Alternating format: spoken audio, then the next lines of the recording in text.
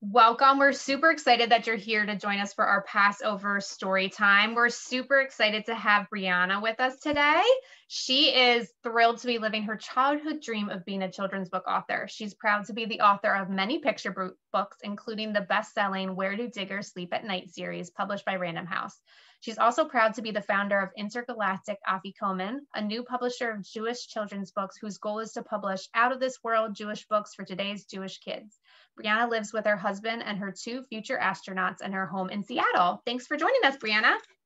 Thank you so much, Amanda. Hi, guys. I am, uh, what's that? Oh, I see some, some, some, some other books at the library too. Cool. Hi, guys. So my name is Brianna, and you can call me Brianna. Um, but also, since this is a, a, you know, a Jewish Federation, PJ Library, I'm here for Jewish Fed. I'm also going to tell you my Hebrew name, which is Bracha. So you can call me Brianna or Bracha, either one. I answer to both. And I am an author. Now, I'm going to ask you can you raise your hand or give me a thumbs up if you know what the word author means, if you've heard that word before and you know what author means? Awesome. Could somebody who wants to share keep their hand raised if you want to share with everybody what you think author means? Thank you. Go ahead, Eva. Author means someone who writes books. Fantastic. If you agree with Eva, would you give a thumbs up if you agree with that definition? I'm giving two thumbs up because I agree with Eva. That's what I do, and I agree with you. Now I'm going to say another word. If you've ever heard this word, would you raise a hand or give me a thumbs up? Illustrator. Illustrator. Oh, I see a lot of thumbs up. If you would like to tell everybody what you think illustrator means, would you keep your hand raised? Izzy, go ahead. It's a drawer. A drawer, somebody who draws the pictures. If you agree with that, would you give a thumbs up if you agree with Izzy's definition of illustrator? Fantastic. Fantastic. I agree too, Izzy. Now, what I need to make clear to you guys, I just want to make sure, because even adults don't necessarily understand this. I am an author. I wrote the words in this book. I am not an illustrator. I did not draw the pictures, or at least I'm not a professional illustrator. I have fun drawing, just like everybody does, but I don't draw drawings of this quality. These were illustrated by Merrill Rainey, and he's the illustrator of that book. Now, I am also an author of other books, so I'm just going to show you a few of them. Oh, I see you have it there too, Izzy and Ellie. Cool. So I have written Where Do Diggers Sleep at Night? And this book by the way, it turned into a whole series. So there's all sorts of other books in it. There's like where do jet planes sleep at night? Where do speedboats sleep at night? It's turned into a whole series. And this book, the idea for this one came from my son when he, he's now just had his bar mitzvah. He's 14 years old. But this book, the idea for it came from my son. I promise I will call on people in just a little bit if you want to. Uh, is that if that's okay? Can I? Or do you have something you really need to ask right now? Say right now. Yeah. Say. Why don't you? No. Come. Share your idea. Yeah. Go ahead, Abby. It's okay. Yeah. Let's unmute. What's my favorite book? Oh, it's your favorite book. That's awesome. Oh, that makes me so happy. Thank you. Well, when my son was younger than you, he's when he was just two years old, he said, Mommy, where do dump trucks sleep at night? And I wanted to be an author, and I said, I have to write that book. So I tried to answer his question about where do dump trucks sleep, but then I wrote a book and it became a whole series. And if that's your favorite book, you're going to find this really interesting because it's been turned into Chinese. So I've I don't even know how to read it in Chinese, but I think it's really cool. And somebody, I think it may even they bought rights to translate it into Russian and into Swedish. So it's sort of cool to me that it's in all these languages. And I've written all sorts of other books too. I've written one that you probably haven't seen, but this one, Tyrannosaurus Rex, is funny. It's about a dinosaur beauty pageant. And then I wrote one recently called Night Night Curiosity about the Mars rover. So this is another space book, but it's not specifically Jewish, although the girl might be Jewish. And she imagines that she's with Curiosity landing on Mars. And her mom happens to work for NASA because the person who gave me the idea for this book was not my two year old son. It was a NASA scientist named Dr. Sarah Milkovich. And she and I tweeted back and forth, and she told me I should write Where Do Rovers Sleep at Night. And so I did a lot of research and ended up writing Night Night Curiosity.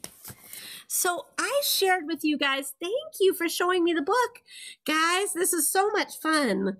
Now, I want to tell you, I told you two words author, which you guys nicely defined as, oh my goodness, everybody's got my book. It's like I'm seeing my book in stereo. It's so cool. Thank you, Federation Literature Books, Berks, and uh, PJ Library, and everybody that everybody has these copies of the books. So, what I wanted to tell you now is besides being an author, but not being a professional illustrator, I have another job. And I am what's called an editor.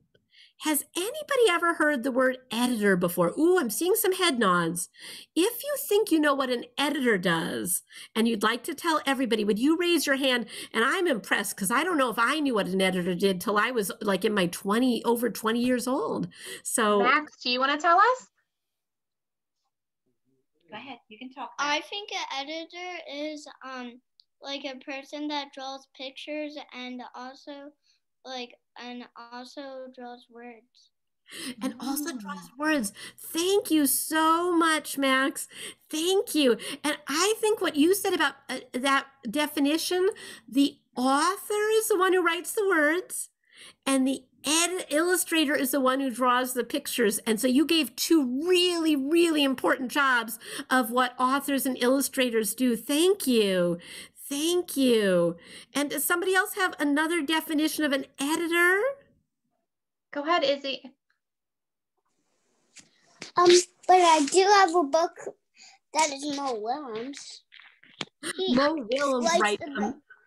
He likes writes books great and draws the pictures. He is an author and an illustrator. Thank you.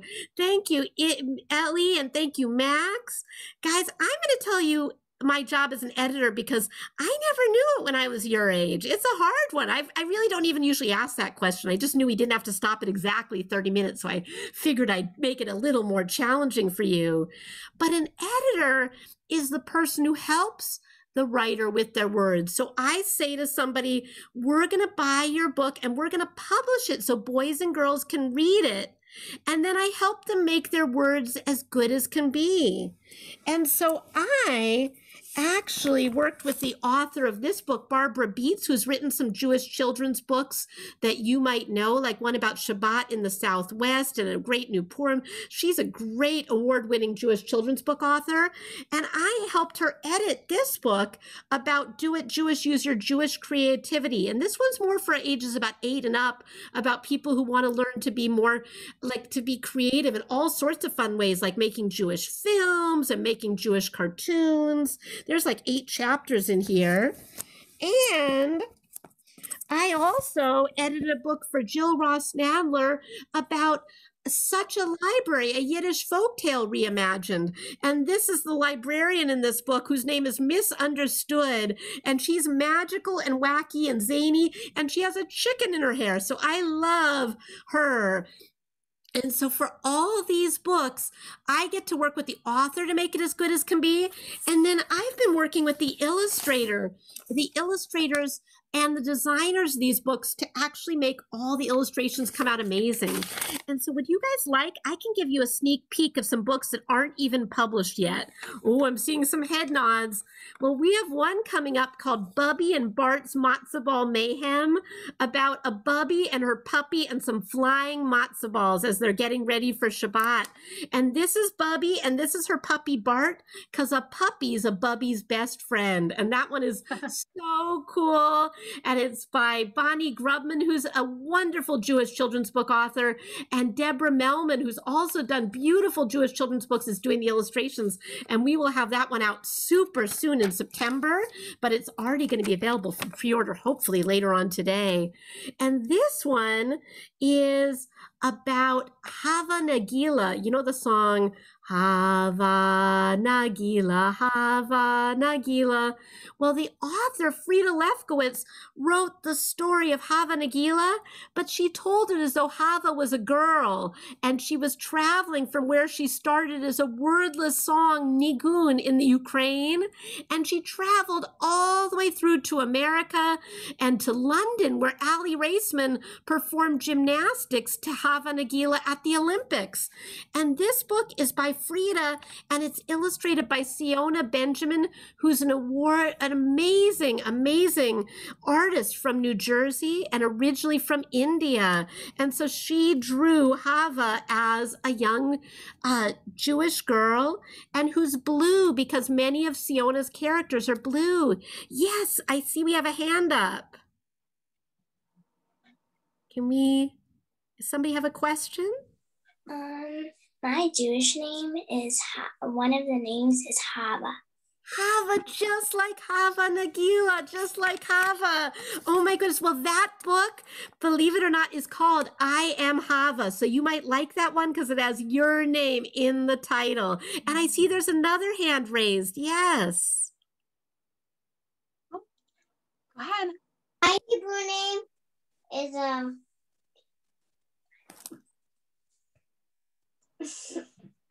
Do you remember what it is, Avi? no, No. Oh. Is Avi your Hebrew name? Because Avi's a Hebrew name. Avi's his first name. I don't know if it's his Hebrew name as well. Avi, Avi, uh, okay, well, that's so neat. Thank you guys so much. And I'm going to go on because Avi is a Hebrew name, so it might be. And I'm going to go on now because we're going to talk about Passover in outer space. But so before I read you my book, I want to ask you a couple questions about Passover in outer, outer space. My first question for you is Do you have a favorite part of Passover that you're looking forward to? Does anybody? Oh, I see a thumbs up. I see some thumbs up. If you have a part of Passover that you really like, would you raise your hand and Amanda will help call on people to share their favorite part of Passover? Go ahead, Max. Um, I wanna, I, I, I like Passover because my dad likes a horseradish. You know, the horseradish is in this book, but we have special space horseradish. You'll have to tell your dad. So when we read it, you be looking out, Max, for the horseradish. Awesome. Go ahead, Avi. Oh, you're muted. Can you unmute yourself? I think it's in the corner. There you go. What's your favorite part, Avi? eating matzah. Eating matzah. Matzah. Oh my gosh, we've got space matzah in this book. Space horseradish, space matzah. Oh my goodness. Does anybody else have something else they're looking forward to on Passover? Oh, I think. Wait, is that a hand? No, that might be it, that might be a That might be a that might be a stretch. that might be a stretch. And we're gonna have that's coming up in the Have Hava Nagila book. We've got gymnastics in there because we've got Aly Raisman at the Olympics. So that's the first one. We've got Olympic gymnastics. Guys, awesome. Now, does somebody else have a favorite part of outer space that they'd like to share? Or did you have a favorite part of Passover? Were you was that a thumbs up? Ellie, I, I see your thumbs up, Ellie. Did you have a favorite part you wanted to talk about? Go ahead. Can you unmute yourself? There you go. Um, we have Passover bag.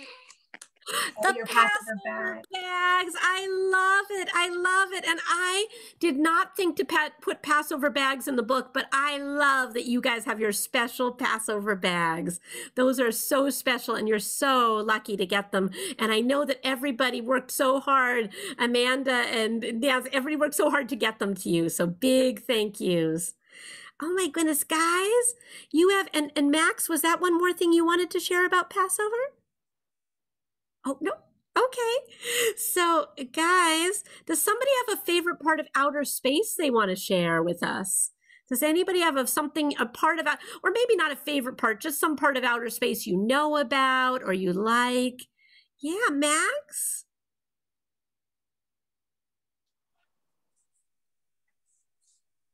Go ahead, Avi.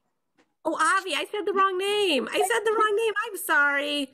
Go ahead, Abby. What do you like from outer space? Uh, I like uh, uh, penguins live in Neptune.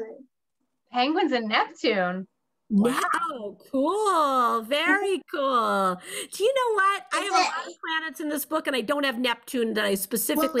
With water. Because there's water in Neptune. Water. Ooh, you know about water on Neptune? You'll have to. It's very stormy in Neptune. Cool, Also- cool. Does anybody else? Thank you. Thank you, Avi. Does anybody else have another part of space that they're interested in or some part of outer space you've heard of? Izzy, did you have something? No? Okay. Oh, I think I see a hand raised next to Avi. Eva? Eva. Um, one place I know about, one um thing I know about is there's planets in outer space. There's planets in outer space, and there are going to be planets in this book. Awesome. Thank you. Well, guys, I'm going to share my screen now because that book. Oh, wait, are you, are you, uh, oh, wait, you know what, guys? Do one second before I share my screen. I'm going to share one more thing. I have my space helmet here and I'm going to put it on because we're going to be astronauts today. We're going on an intergalactic Passover voyage. Here's my space helmet. Would you put on your pretend space helmets to join me? Could you put on your space helmets and buckle in because we're going to be blasting off? I'm sorry I did not get a permission slip to take you into outer space, but we're all going to be blasting off into outer space today. Just for the record, this is a pretend astronaut helmet. This is my son's toy one. I wish I was a real astronaut, but I'm not. I'm actually in Seattle, Washington, not in space. But I wish I was in space. And one of our future books, I can't even tell you the name yet or the author yet, but we have a book being written, hopefully, by a Jewish rocket scientist, actually a, a nonfiction informational book about outer space. So I will I will be announcing that one very soon. I'm very excited. So now that we're all with our space helmets on and we're buckled in, get ready for blast off. Uh, get ready for blast off because I'm about to share my screen and read you Asteroid Goldberg Passover in Outer Space. And here we go. And here we go. All righty. Asteroid Goldberg Passover in Outer Space by Brianna Caplan Sayres, that's me, and illustrated by Merrill Rainey. He did the amazing pictures. And let's see. And there's Asteroid and her family and her robot dog. You will see when you look up close in the book. Robot dog isn't in my words, but robot dog is in Merrill Rainey's amazing illustrations. And they're flying their Jewish rocket ship with a Magen David, a Star of David, on the side home from, well, you'll see where when I start reading the book. All righty. Oh, and I see Asteroid and her parents enjoyed their galactic flight as she zipped them home from Pluto to prepare for Seder night. Guys, they're going home to get ready for a Seder just like a lot of us do. Attention, Goldberg rocket, you'll have to wait to land. Oi, Passover in outer space was not what they had planned. What would a Seder be in space? The grown ups had no clue. But their Space Whiz asteroid took a more creative view. Guys, Asteroid is a creative and mighty young Jewish girl, and she is ready, even though her parents have no idea, Asteroid is ready to solve this Passover predicament. So let's see what she does. She flung the fridge door open. Pastrami flew from rye. Bagels floated far from lox. oh, let's see. She watched their chametz fly.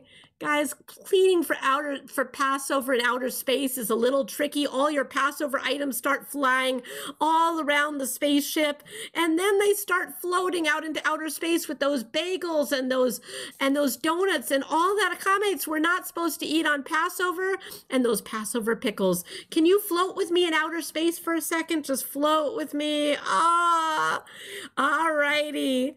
Where will we find Pesach food? Asked her parents with dismay. We'll find it all in space, says Asteroid. Our pantry's the Milky Way. Guys, their pantry, they are going to find all their Passover food in outer space. She aimed their ship toward Jupiter. So many yummy moons. There's all Jupiter's moons. Matzo balls, said Asteroid. All we need are spoons. Then watch what she does next. She grabbed hold of the Big Dipper. What a perfect ladle! A starry spoon to help her scoop. Each delicious knadle. And guys, knadle is the Yiddish word for a matzo ball. So I imagined that Matt, that Asteroid Goldberg might use Jupiter's moons for her matzo balls, and the Big Dipper for her ladle, her special Passover spoon. Oh my goodness. And somebody said they liked matzah. Now, where could she find matzah? She couldn't wait to munch. She broke a piece off Saturn's rings, the perfect Pesach crunch. And somebody said they liked planets. Well, I imagine that Saturn's rings might be asteroids' matzo balls. Somebody said they liked horseradish. Here's our horseradish page, special for your dad there, Max, and for you. Then she headed back to Jupiter with its spot horseradish red. Such a tasty bitter herb for their unleavened bread. I imagine that if she needed a horseradish, she might go straight to Jupiter's red spot. Have I mentioned that Asteroid Goldberg Passover in Outer Space is an out of this world Passover fantasy? It is not a nonfiction book about space. There's a lot of imagination in here. This one that I wrote, Night Night Curiosity, it is a fantasy because she imagined things, but the facts in here about the Mars rover are all perfectly accurate. But Asteroid Goldberg is more of a pretend imagination fantasy. Now their food was almost ready. It would soon be Seder night. She peered into her telescope. What guests could she invite? Oh my goodness, does anybody here like to be with family for your Seder? Can you give me a thumbs up if you like to get together with grandparents or cousins or anybody from your family or maybe special friends? Well, Asteroid wanted to find special friends for her Seder. Grandma Luna biked on Venus. Uncle Cosmos hiked on Mars. Aunt Andromeda and Cousin Corona were giving tours of all the stars. And now it's time for the Seder. Each guest opened a Haggadah, sang the order of the evening, then drank from a space kiddush cup while zero gravity leaning. Guys, it's traditional to lean at our Seder to put a special pillow on our chair and lean to remember we're free and not slaves in Egypt anymore. But so if we want to, but I thought in space they might lean like by floating in space. So do you want to pretend you're leaning by floating in space for me a second? Oh my goodness, guys, and maybe at your Seder you'll you'll remember that when you have your Seder this week. And guys, there was something else I thought might be really different. They have their kiddish cups with the grape juice inside of them or the wine for the grown-ups. But I thought for their kiddish cups, they might be almost like sippy cups because otherwise their grape juice might float away into outer space. So if you notice, Merrill drew, Merrill Rainey drew the, the kiddush cups there with like little sippy cups so the grape juice wouldn't float away. Soon Dad hid the afikoman. Oh, wait. Does anybody here ever search for the afikoman? Would you give me a thumbs up or raise your hand if you've ever searched? Anybody here ever found the afikoman? Ever, ever find? Oh, I see some thumbs up. Soon Dad hid the afikoman and reminded them no peeking. this would be Asteroid's first Seder with intergalactic seeking. Guys, can you give me a thumbs up if you see where Abba, where Dad hides the Afikoman? Does anybody see in the picture how Dad hides it in Robot Dog's head? Look really closely. It's in Robot Dog's head. And I'm going to tell you, please look really closely because I don't tell you in the words of my book where the Afikoman gets found. You have to look in the pictures, Merrill Rainey's pictures for that. So would you give me a thumbs up if you see later in the book where dad where they find the Afikoman? Ma Nishtana came come came next, the four questions. Asteroid started to sing. What makes this night so different? The answer everything. It really is very different to have a Passover Seder in outer space. Asteroid acted out the story of Egyptian slavery. Without the pull of gravity, she really did feel free. And cousin Corona is pretending to be Moses. Let my people go. And Asteroid is dressed up as Pharaoh. So Asteroid says, no. And cousin Corona, Moses's staff is floating in space, and Robot Dog is dressed up as an ancient Egyptian dog. All righty. Finally came dinner, which was just a bit bizarre. She liked her matzo balls to float, but this might go too far. Guys, will you give me a thumbs up if you see where the Afikoman gets found? Does anybody spot it? I'll give you a second. Oh, I see a man. Oh, I see some people are spotting it. Here's cousin Corona found the um, Afi Afikoman hopping, just popping out of Robot Dog's head. And next comes, they're opening the door for Elijah. Has anybody here ever opened the door for Elijah during the Seder when we open up the door and there's that special cup for Elijah? Well, Asteroid popped the hatch, not the door, but the space hatch. Asteroid popped the hatch for Elijah's space debut. She looked outside and heard a voice. Oh my goodness, guys, could the voice be Elijah? Let's see. It was Houston coming through. Oh, guys, it's not. Uh, it's not actually Elijah, it's Houston. Oh, it's not letting me move you. Oh, there we go. It was Houston coming through. And here's what Houston says The Goldberg ship can land. But Asteroid shouted, No! This Seder wasn't long enough. It can't be time to go. Wow, I didn't usually say when I was little that the Seder wasn't long enough, but I think Seder in space is even even extra fun. And guys, there's their space radio and their rocket ship, and it's blasting a Passover song. Had God, yeah, had God, yeah. And that's the one about my father bought a goat and there's a dog and a stick and everybody in that song. And so I thought that might be blasting off the Passover radio. And then they're all having fun at the Seder. And Asteroid said, let's stay the week, then head on back to base. And her family all agreed. Next year in outer space. Oh, thank you guys for being such excellent listeners. And guys, it is traditional at somewhere in the Seder we say next year in Jerusalem, but I figured Asteroid and her family would say next year in outer space instead. You guys were amazing. I have a question for you. Does anybody have something that was very different in outer space Passover than when we have Passover at our homes? Because, like, we on earth sing the four questions how is how is um this passover different from every other passover? But i thought we could do the intergalactic four questions. How is passover in outer space different from every other passover? Avi i think you have something that's different from passover in outer space. Was in space. It was in space. The whole setting is different. So if we were going to sing that, like the Ma Nishtana, like the four questions, and you can mm-hmm. sing it with me, but maybe muted, How is Passover in outer space different from every other Passover?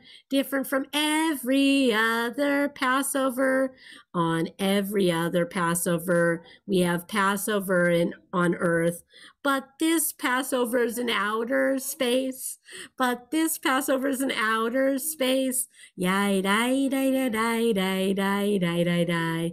Yai dai dai dai dai dai dai dai. Yai dai dai dai dai. Yai dai dai dai dai. Yai dai dai dai dai dai. Thank you, Avi, for helping me do intergalactic four questions. And I think um, I think Max has another intergalactic four questions. What's the difference you have, Max?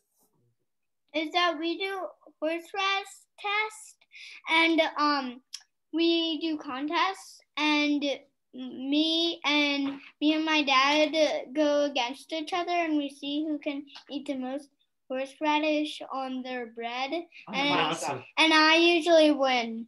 Oh wow, wow. Avi, oh Max, you have a Maror contest. That's so cool. Thank you, Izzy and Ellie. Max, I love your Maror contest. That's so cool because my family has a Maror contest too. Not a special space Maror contest, but we do a Sephardic version of the Seder. And so when we sing Kadesh Orachatz. We sing it to a different tune, the order of the Seder.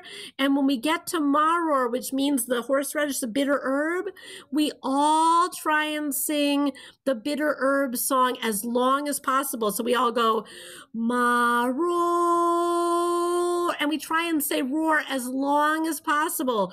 Oh my goodness. But I wouldn't be brave enough to do your contest, Max, of saying, of eating as much maror as possible. In fact, my Sephardic maror is like romaine lettuce a lot of the time. So sometimes I'm brave enough to eat that, but sometimes I don't even eat something that bitter. You guys are amazing. Does anybody else have a difference between Passover in outer space and Passover on earth, or just something special that you do at your Seder that you love to do? Oh my goodness. Well, you guys have been amazing. I have a special part now of my author visits that I want to do with you. Uh, it's special to ask questions for Passover, and it's special to ask questions for an author visit. So, my question does anybody have a question that they'd like to ask me? Does any, anybody have something you wonder about being an author, or about Passover, about outer space, or just about me, Brianna Caplan, Sayres Bracha, that you're wondering that you'd like to ask? Because I am happy to ask any questions. And by the way, grown-ups are allowed to answer quest ask questions too, because grown-ups are people too, and I get some great questions from kids and some great questions for grown-ups. So I'm wondering if anybody has anything they wonder or would like to know about me or my books. What's your favorite Passover food? Ooh, my favorite Passover food. I love matzah latkes. I love my husband's matzo balls. And I, because I'm also half Sephardic, I have to give some special Sephardic Passover foods. So I like pescado con huevo y limón, pescado with lemon and egg sauce, pescado con tomate, fish with um, tomato sauce. I like prasa fuchis, prasa, which is leek in Sephardic. And I also like gefilte fish because gefilte fish is awesome. So, oh, yeah, I'm getting so hungry now. I'm ready for Passover to start. Ellie, Oh. did you have a question?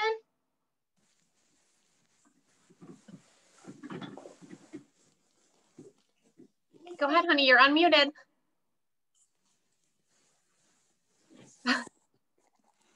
Did you have a question that you wanted to ask Brianna? Are you? Nope. Okay. Did somebody else have a question? I don't think I saw any hands. I think because so many of us. Oh, Miss Nancy has a question. Yes. What What's your favorite uh, Passover tradition? Ooh, I think my favorite tr- Passover tradition might go along with a lot of kids here. It's finding the afikoman because that afikoman is so much fun. And I know, in fact, next year I'm actually hoping to sponsor to make a program where I can invite all of you and maybe all the other kids who've done my visits, and maybe we can do an intergalactic afikoman search where we can do a, a looking for the afikoman in outer space because it's so much fun. And I think I see another hand Go raised. ahead, Bella. Um, how long did it take you to write the book? That is an awesome question. Bel- Bella, was it? Bella, thank you. So it actually took me a long time to write this book, but I didn't write it all straight. I actually started writing this book 15 years ago, and I know it's only 500 words, but I think it was around a long time ago I started writing it, and then I would work on it and work on other books and work on it and work on other books. And so, and I'm always working to do what's called revising, make my stories better. So I can see there are some authors among us. Some, if, if you've ever written a story, would you give me a thumbs up if you've ever written a story or a book yourself or a, a short story or a poem? If anybody's ever written something. Awesome. Awesome. So it took me a long time and then I revised and revised it when I knew it was going to get published. I revised it more to make it as good as can be. I want to tell all the people who write books or might write a book or are thinking of writing a book that a couple things. First of all, um, if you write a book and you ever i'm hoping that someday you'll get to come back here and uh, to your library and your pj library and you'll get to be the visiting author someday. So i think that's really important. When you write a book and you get it published would you write a note to me to brianna Caplan Sayres find my website or find intergalactic afikoman my publisher's website and send me a note and say you remember you were the author at my pj library event a long time ago and now i'm a published author.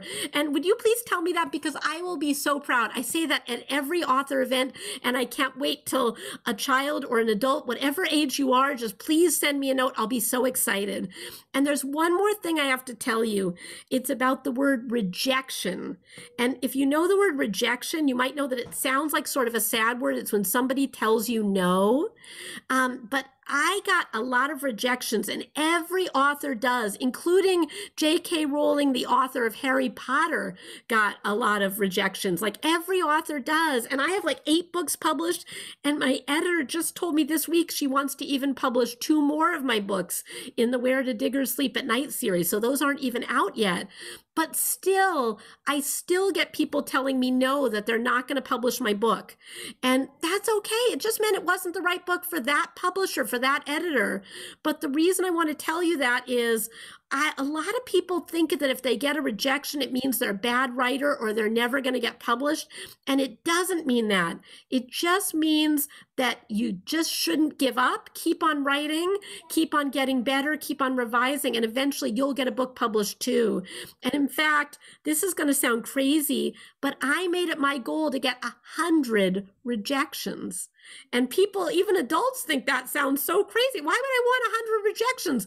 I would want to get tortured and have a hundred people tell me no. But you know what? That kept me from giving up. And I just kept on sending books out there and kept on sending books out there. So I really want to let you all know that because it doesn't mean you're a bad author when you get rejections. And in fact, now that I'm an editor and I have these books where I edit them, I have to write no to people. I have to write rejections. And that really hurts me because I'm an author just like them. But I know that it's important that people get those rejections so they can send it to another editor who's the perfect, perfect editor for them. And I also write a lot of rejections because we only publish in my publishing house, we're really small. We only publish two or three books a year. So, I mean, I turn away a lot of really great manuscripts. And it's it's just really important that you not give up if you want to achieve your goal, whether that goal be being a writer or any other goal you have in life. Don't give up. So I just had to tell you that because a lot of people think that it means they're not going to be an author if they get a rejection, but that's not what it means. And authors, we keep our rejections proudly.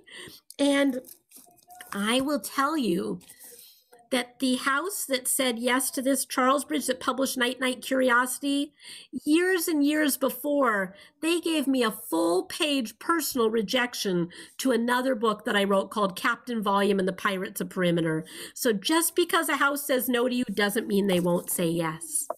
You guys have been amazing. I love that. I love that so much. Because so many of us already have our copy of Asteroid, I was hoping that maybe we could all hold our pick our book up and then I'm going to take a picture of all of us with you um, so we can celebrate the fact that you were here. So if you have a copy, I know most of you got it already in our kits. hold it up. I'm gonna try to do this here and not have my phone in the picture. I love seeing you with your books and your smiling Big faces. smiles. All right, ready? One, two, three. Cheese. Awesome. Thanks, guys. Thank you, Brianna. This was so much fun. I hope you have an awesome Passover wherever you are, Seattle or outer space. or outer space. I wish it was outer space, but I think it may be Seattle on a Zoom Seder. And thank you guys so much. You had so wonderful comments and listening. It made me so happy to meet all of you. Thanks, guys. Take care.